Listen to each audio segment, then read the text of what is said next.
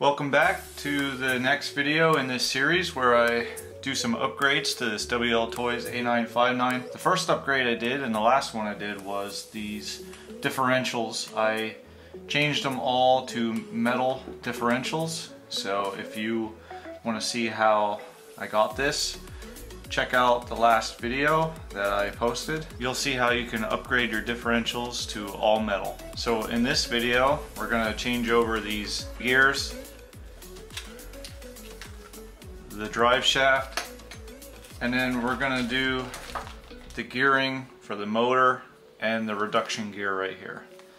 So these will all be linked in the description below for everything you see on this build today and I'll also leave links for everything here for the differentials. In the last video I took off the differential cases on the front and the rear. You have to take the screws out of this this cover here. That's already done. All we have to do next is cut this little zip tie right here that is um, connecting the the wires to this drive shaft cover.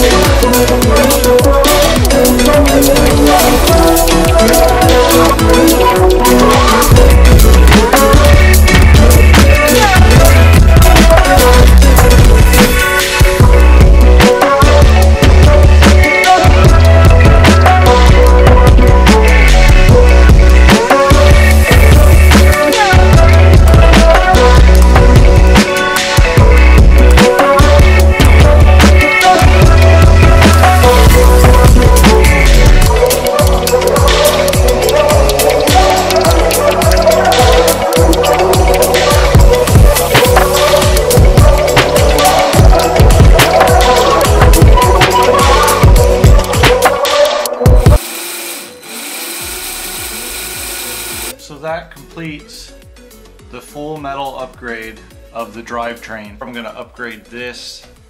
This is really cheap plastic. I'm gonna upgrade it to the metal one, but I'm waiting for it to get here. And this is something that can be replaced in like five minutes.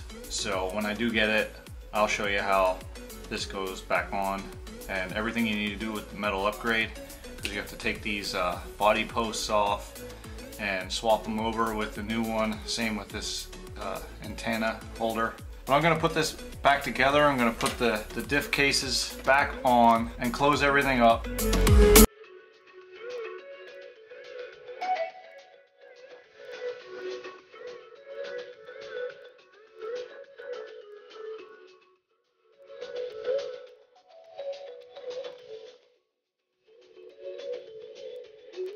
So now if you wanted to test everything out, make sure it works, you can go ahead, plug your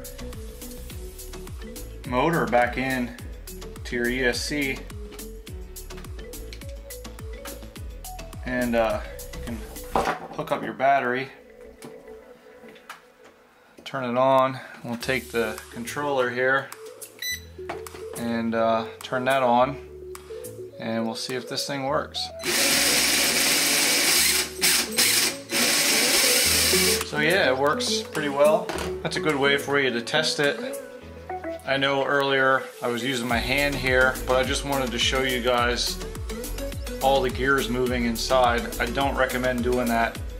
Uh, don't test it until you have the diff cases back on and secured. But in the next video, we're gonna upgrade these suspension arms and then it also comes with, this was a kit. You can get the suspension arms by themselves, but it also comes with the hub cup holders. So go ahead, give me a thumbs up. If you haven't already, hit the subscribe button. But once this build series is over, I am going to go back to what I normally do on this channel and that is review all types of different RC vehicles and then if I like it I give one away. Thanks for watching the upgrade build on this ready to run RC.